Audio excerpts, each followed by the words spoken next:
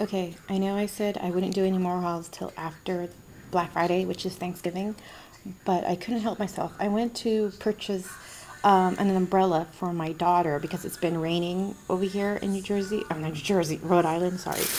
And look what I found. These are like 15 cents. Um, postcards. Um, you can get like 10 for a dollar, but I only chose these four, but it's Marilyn Monroe, Norma Jean. I like I like this one. This one's cute. It's called The Spirit of America. Join Red Cross. I think that was their old um, thing before. And look at her. Isn't she gorgeous? So I thought those were cute to incorporate in any projects that I would have. And the reason I was showing you this and I couldn't resist is because look at these chipboards. They're like old coasters from old restaurants. They're only like two bucks. They're called Ocean State Job Lot.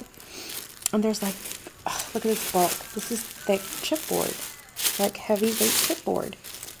So they're like $2 and they have tons of these. So I went ahead and I bought three different styles. The square, the oval, and this like popcorn shaped looking one. So, you know, and then I bought me like these um, 10, size 10 envelopes, you know, to do some mini albums also. But isn't that perfect for like um, tags and stuff? Or you know, even I can do a little mini album on these.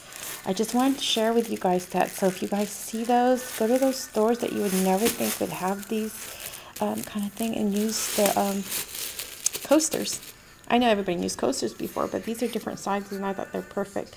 They're only two bucks each and look how much chipboard that is.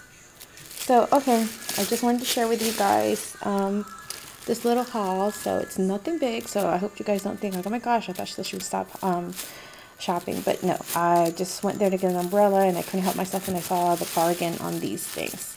Okay, thanks for watching. Leave a comment. Bye.